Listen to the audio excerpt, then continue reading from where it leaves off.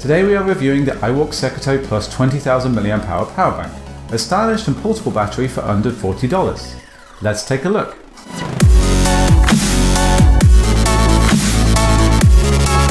Welcome to TechRunner, your home for tech reviews and VR products. So do you really need 20,000 mAh of power bank? And how does it compare to the more portable 10,000 mAh version by iWalk? For full disclosure, iWalk sent me a couple of their products for free to review. They did not compensate me financially and I am under no obligation to give anything other than my honest opinion about their products. The packaging for this product has a nice premium feel to it. The power bank comes in the box along with a braided micro USB cable, a micro USB to lightning adapter and some instructions. There is no AC adapter included in the box so you'll need to buy one separately. The size of the power bank is just under double that of the 10,000 mAh version, which makes it a little less portable but still easy enough to fit in the main pocket of a backpack. The front side of the iWalk Secretary Plus has a textured finish.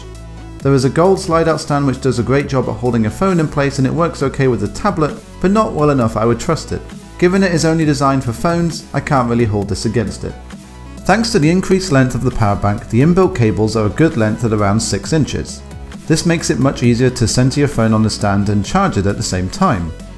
The micro USB cable can be adapted to lightning with a supplied adapter and the second cable is USB Type-C. This should give you the correct cable to charge your phone regardless of which one you have, which is nice. The Type-C cable is easy to retrieve. The lightning or micro USB cable can be a little fiddly.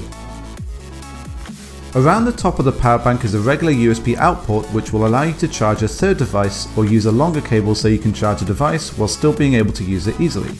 The micro USB and USB-C ports are both for charging the power bank. You can connect the included micro USB cable to an AC adapter that outputs 5 volts at at least 2 amps to charge normally. Or if you connect a cable to the USB-C port, you can use a quick charge 2.0 or higher AC adapter to charge the power bank more quickly. With 20,000 mAh of battery this is definitely a nice feature to have. The power button is located on the side near the top. When you press it the four white LEDs will light up showing remaining battery and will flash when charging to show progress. You can expect to charge your phone a good 8 to 10 times and a tablet 2 to 3 times making this a great choice for watching videos on a flight.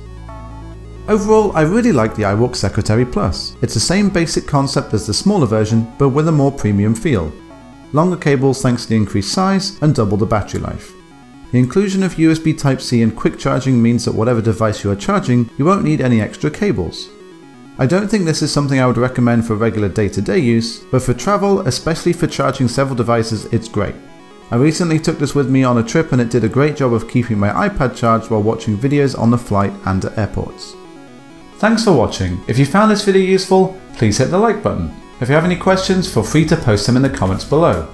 If you'd like to see more tech reviews and VR content, subscribe to the channel and follow me on social media at TechRunnerVids.